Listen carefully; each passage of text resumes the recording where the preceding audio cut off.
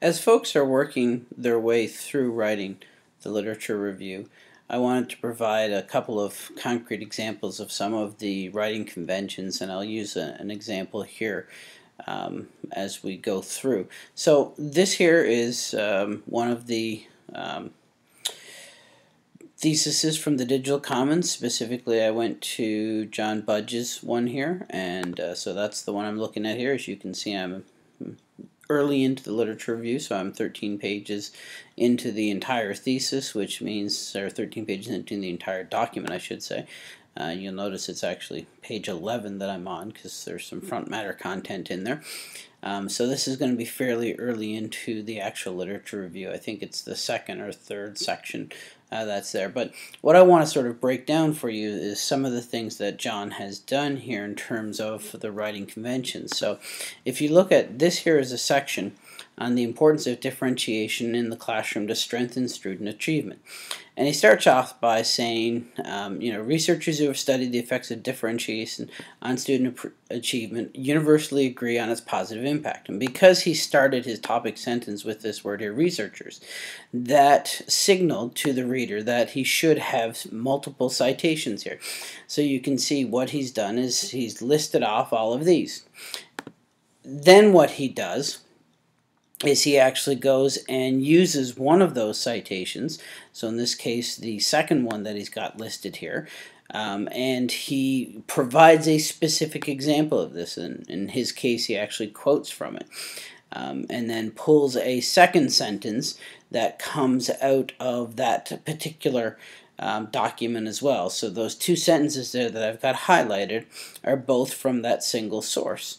You know, so you've got a topic sentence that has these multiple citations, and then you've got a paragraph that you know has a specific example, and they're using one of those citations. And in some cases, you'll see it's using some you know different citation that's there. I will be honest and say that you know this paragraph probably could have been improved by providing a second example or sort of developing it out a little bit more. I'd say it's you know a touch underdeveloped as it stands now. And then you can see here um, you've got a um, a summary sort of transition sentence. You know, John is basically setting you up here to um, take you to the next point, where he says teachers are constantly struggling to find ways to engage, motivate, and improve all of their students' understanding. Differentiation can help. That's you know a pretty good summary of you know what those three or four authors that he cited uh, have to say about differentiation. Now, if you look at the next paragraph, you'll see he's using a, while it's a topic sentence, he's also using it in a transitionary format. So you can see the theory behind differentiation stems from the zone of proximal development. And this whole next paragraph is about the zone of proximal development, but you can see how the topic sentence in this paragraph actually ties to the content of the previous one. So as a reader looking at this particular uh, topic, you can see John's thinking in terms of how he connects differentiation with his conversation or his discussion of the zone of proximal development. So you know, he basically goes through and gives you essentially a statement about the zone of proximal development, and then he has a block quote here from Vygotsky uh, that, you know, essentially details out the zone of proximal development. And now he's going back to that original citation that he had actually used with differentiation. So trying to again tie that idea of differentiation back into the zone of proximal development. And if you notice how um, he sort of, you know, concludes this, it's another good sort of transition sentence that he's got here. A differentiated classroom is student centered. And what you'll note now is as you move into the next one, he's actually using a, direct quote from one of the pieces of literature as his topic sentence. Tomlinson described differentiation as a classroom practice with a balanced emphasis on individual students and course content.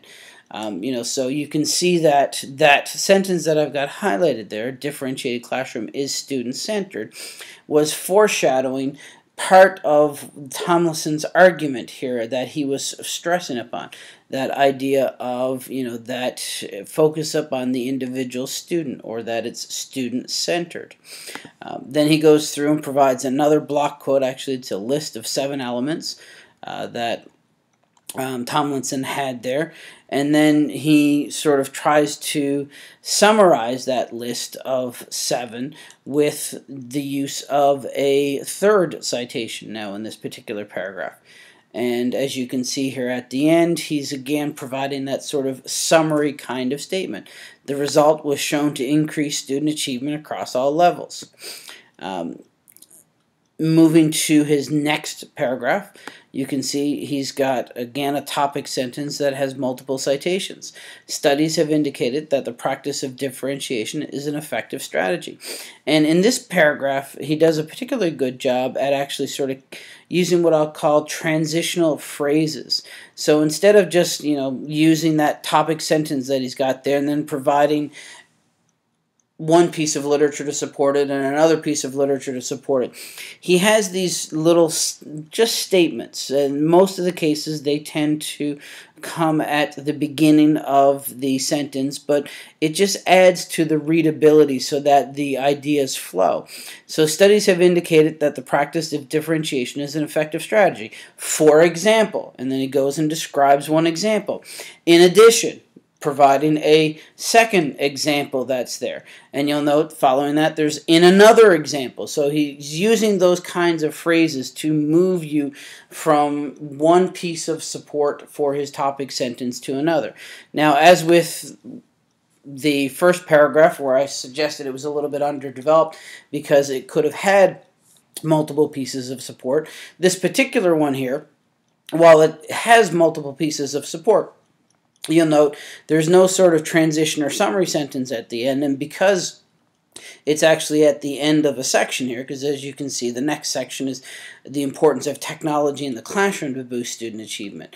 Um, it would have been useful for John to add a sentence or two here that um, summarized sort of what he wanted them you to walk away from with this particular section, but also then transitioned from this section to how he was tying the importance of technology in the classroom to this idea of differentiation and student centered learning.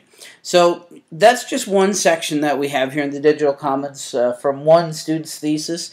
As you can see, there are a number of different strategies that he's employed here to both, you know, uh, uh, create the flow in his uh, writing and to connect the reader from one idea to the next. And these are the kinds of things that you want to be striving for in your own writing.